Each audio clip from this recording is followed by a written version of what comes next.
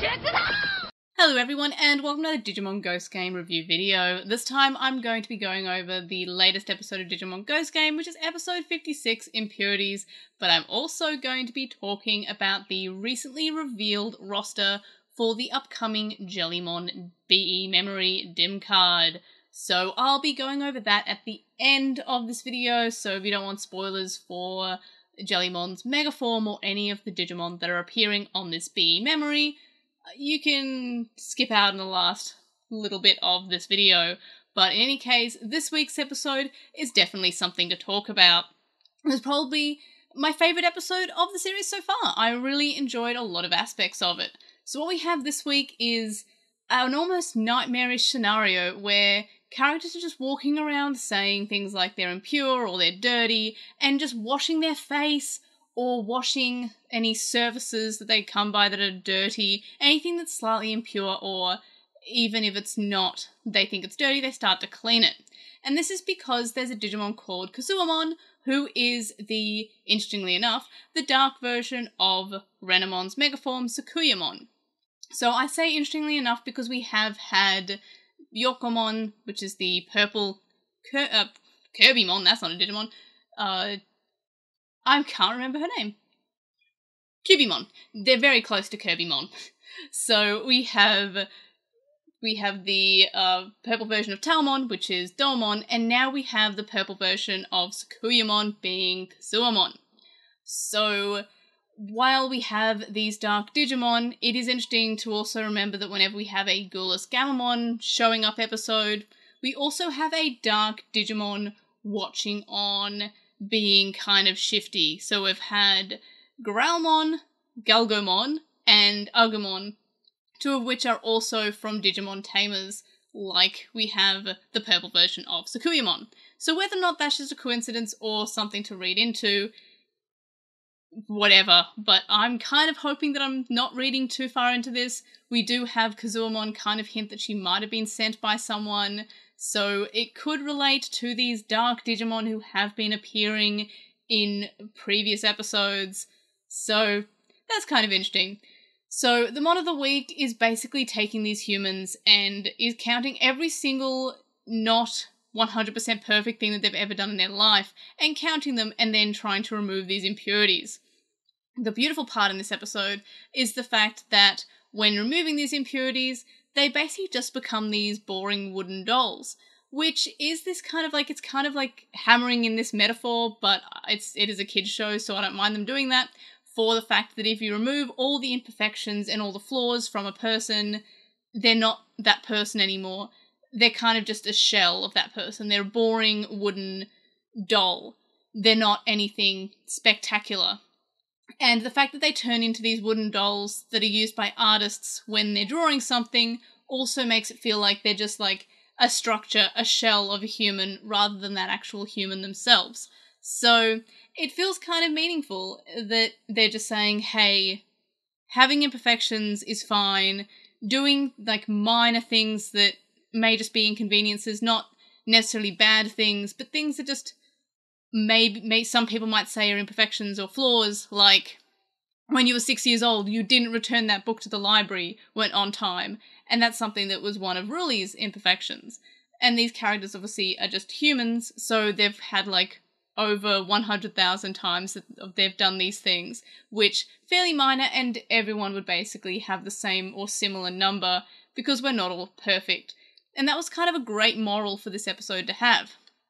So all the characters basically one by one get picked up and Kuzuhamon is able to recite basically all of their impurities to them, which are, fairly minor things. Hiro then gets picked up and Gammamon, who is Canoweissmon at the time, says that it's basically the impurities that make us who we are and he loves his friends and he's, he is who he is because of his friends and their imp- impurities or the imperfections. And then this causes him to evolve to his megaform, Siriusmon, who is somebody I had a feeling that we would be seeing sometime soon, specifically because in this month's Saikyo Jump that came out at the start of the month, we had a promo card for Siriusmon. So I kind of expected that between like the start of this month and the start of the next month, we would have Siriusmon debut. Also, in addition to this, next month's issue of Saikyo Jump, so January 4th, I think it's coming out, we also have promo cards of Jellymon and Angoramon's megaforms as well. So one would expect that we're getting into the getting a megaform arc. So that would maybe mean that between now and next month at some point, we should have more megaforms. So that's pretty exciting. I do love an evolution episode in terms of this episode, it was just so great. The animation was great. The fact that I didn't really know who the Mon of the Week was until she was revealed is kind of cool. I was like, who who is that? Who could it be? And for most of the time, she's just kind of like this chanting orb. We see her basically as something that resembles the uh, the twelfth angel from Neon Genesis Evangelion. Just this just this orb that's hanging out, and the the chanting that's coming from it is kind of creepy and has some great like spooky themes and ominous themes to it.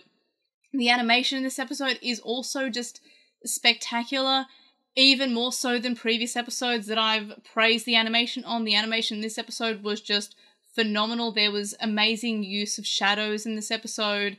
The introduction part of the episode was just incredibly spooky. And not to mention the fact it just felt like a nightmare with all the characters kind of walking around being a little bit uncanny valley.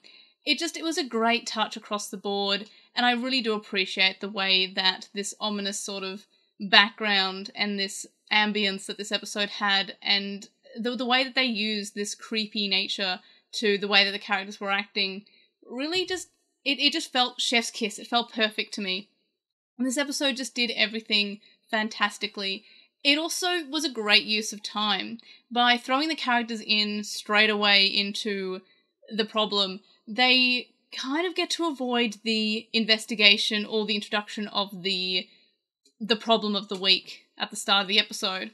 While we do have characters individually investigate the mon of the week, so we have Hiro and Ruli both independently try to investigate what's going on, the episode itself feels like it flows really well. I love how we are separating them, but they're both investigating the same thing because they've had various friends affected and impacted by this Mon of the Week. So, big fan of that. I felt like that was really well done to have them separate, but also together working towards the same goal. Big fan of that. This episode was just really good, and my previous favorite, I believe, was episode 13, which was almost a year ago, and this episode definitely, definitely de- dethroned it from being my favorite.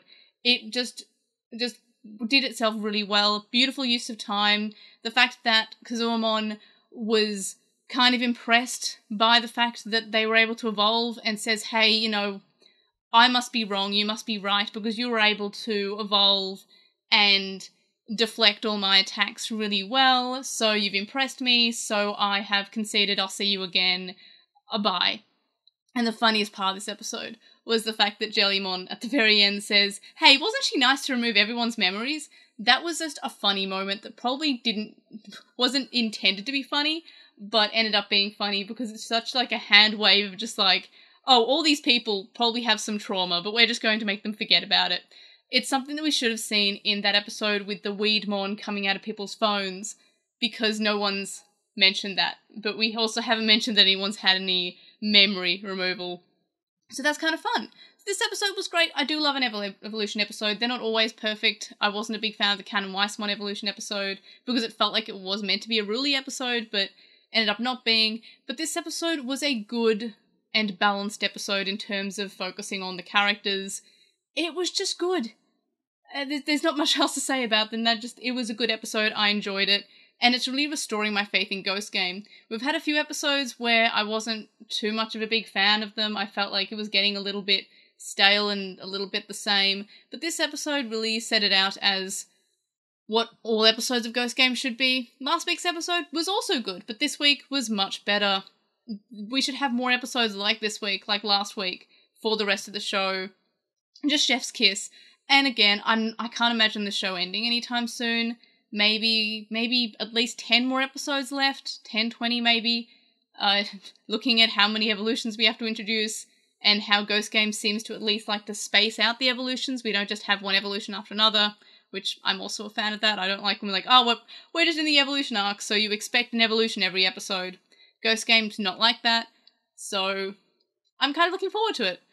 And now that we've gone over this week's episode, I'm going to go over the Jellymon BE memory card, which is coming out in mid February, about a month after the Angoramon BE memory card. Interesting that we're having them separate, not together like we did for the Dim, but in any case, let's look at this roster because there's something in particular that I'm really interested by in, in this roster. So let's look at it. So, of course, we've got the pink star to denote what Mons have previously been on other dim cards or BE memories. So, of course, we've got Jellymon's evolutions up to perfect, so Thetis Mon, and we've had a few other Digimon that have been popping up before, like WaruSeadramon, like Majiramon over down there in the adventure route unlocks. But we also have some new Digimon. So we have Amphimon, who is the Mega Form. Again, big fan of this. I'm a huge fan of the fact that it doesn't look overly sexual. Like, Thetismon is kind of like a good mix of monster and, you know, a booby anime lady. But Amphimon doesn't look like that's the same case. Looks like it's wearing one of those really old diving outfits, so that's kind of cool. I do like that design. I've mentioned that before that, that that seems like a really good design. I'm looking forward to when it debuts. We also have a Kodokugamon, which I'm getting better at pronouncing, I guess. So that's the child version of Dokugamon. Of course, that Digimon being from a Jellymon and Kiyoshiro episode. We also have Shamblemon, so the Mushroommon adult level. Then we have a Digimon that I actually had to ask around because I wasn't sure what it was based, based by the silhouette, but it is uh, Kinkakumon from the fighting game episode. Then we have Majiramon, previously was on one of the Tamers Dims, and this was from Jellymon's debut episode. We have Tropiumon, again from a Thetismon episode. Also very happy to see Tropiumon, probably one of my favourites. And then we have what looks to be Marine Angemon, but I don't think is. You'll notice that Marine Angemon has been on a BE memory before, and this Digimon does not have a star next to it. The sprite itself, and Wikimon on Twitter posted a great comparison from this sprite and the Marine Angemon, and they're slightly different, the arms are a little bit longer. So I'm wondering if this is actually the last version of Marine Angemon that appeared on the Digimon XL, that being the virtual pet that had all these blast forms for the Digimon that were on it to show that they were like powered up. So I'm wondering if we're going to have that Digimon pop up in the anime at some point, or if we're giving more attention to the blast evolutions, which I don't know how to feel about that because I've had like a, a like a rough script on a video of a video that I want to cover about these blast evolutions for a bit. So I should probably get on that if that is the case. We also have Giga Seadramon. Very excited to see that Digimon. Probably is my favorite Seadramon evolution. And we've got some good choices of Digimon. We've got Ikakumon, Zudomon, Vikemon, which I guess we're not getting a Gomon Dim, but this is the closest thing we'll have to it. We've got a bunch of the Shell Numamons and Platinum Numamons. Not so exciting to see that, but I guess we do need the Bad Care evolution. We've got um Scorpiumon, which is not Scorpiumon, but it's I can never remember exactly how to say the the uh, its actual name because it's based on an actual thing, and I'm bad at pronouncing it. But I've got the X antibody of that, and uh, yeah, so a bunch of Digimon that are very exciting to see. I'm looking forward to Amphimon's debut in the anime. But uh, yeah, super exciting. I love both the Angoramon and the Jellymon BE memory rosters, but I think I might actually prefer the Jellymon roster coming out. I just because Giga Seadramon is really cool, and also the fact we've got Tropiumon, that's great. Love Tropiumon, but also the fact that we might be getting like Blastmo Marine Angemon, so that's really exciting too. So a bunch of cool Digimon that are popping up on this BE memory. I'm excited. I hope y'all excited too. If you're wondering where you can buy this, you can get this from all the normal places. This video is not sponsored by anywhere, but I just thought I'd mention a few places just to help you out because people will ask anyway, and you know what, I'm going to say where to buy them and people are still going to ask, hey, where can I buy this? So Zen and TCG, HobbyLink Japan, Japan you want, or you can use a proxy service to buy them from a Japanese website. So from Japan, Buyee, White Rabbit, any just, if you just Google proxy service, you'll probably find one, but those are three that I've used, so I can vouch for them. Hobby Japan, Japan You Want, and Zen and TCG are all websites that I have used in the past, and I can recommend them. Hobbylink Japan is probably the one I've been using the longest. I've been using them for about a decade. I think they're also the ones that have been around the longest out of these websites. Zen and TCG being fairly new, Japan You Want only really popping up in the last five or so years, I'm fairly certain, but Hobbylink Japan has been around for decades. I'm fairly, at least one decade. I feel like I may have heard about it 15 years ago as well. But then again, I wasn't really buying things online as much 15 years ago that I have been in the last like decade or so. But in any case, those are my thoughts about this week's episode, and also we get a new BE memory coming out in the next few months. Of course, we also had news about Digimon Con popping up. I was almost ready to say that there's no Digimon Con for next year. I actually said it a few days ago on Discord hey, I don't think there's going to be a Digimon Con this year. But uh, lo and behold, it got announced just like two days after I said that. So, okay, that's probably the fastest I've ever been proven wrong before. So I'm glad I didn't go out and say it on a video. Uh, so there's a Digimon Con in February next year. I'll be probably covering it to the same extent as I did last year. I again, I was fairly spot on with my predictions for Digimon Con. I was fairly certain that they weren't actually going to announce that much stuff. That it was just to go over um, things they've already announced or products that were already available, or and you know things that you could actually buy or things that were coming out like the Zero Two movie, like the the survive, which didn't really get much information, and then it came out a few months later. So of course we'll probably have information about the upcoming Digimon story game that they mentioned at this year's Digimon Con. So that's exciting, but again, tamper your expectations. I know a lot of people were fairly disappointed by Digimon Con because they expected it to be full of announcements. Uh, it it did announce some things. I still maintain that the Vital Bracelet portion of it was the best even though the raid itself was really laggy because it had literally everyone trying to play at once. That that was something I kind of predicted anyway. But uh, yes, so exciting times ahead for Digimon Con. I might may or may not do a prediction video like I did last year, but again, I'm not predicting too much because I don't think there'll be that many announcements. It's probably at the similar amount that there were at this year's Digimon Con. Probably uh, if they do announce anything, it's going to be more BE memories, maybe more Digimon colors because one in February the Digimon colors are going to be coming out in the next month or two. So they'll probably be talking about that quite a bit in terms of new toys. In the anime portion, uh, mainly the Zero Two movie, but I guess I'll, I'll, I'll get to that closer to the date if I do do a prediction video. So in any case, those are my thoughts for this week's episode, and of course the Jellymon BE memory. So let me know your thoughts below in the comments and like this video if you were like, excited for the BE as well, because I am very excited for the BE, especially this roster, especially the possibility of Blast Marine Angemon. So, in any case, subscribe if you haven't already. I'm still trying to get to 13,000 subscribers by the end of the year, so please subscribe if you haven't already, and tell your friends, tell your family, tell your pets that use YouTube to subscribe to my channel. And of course, I'll see you in the next video. Bye!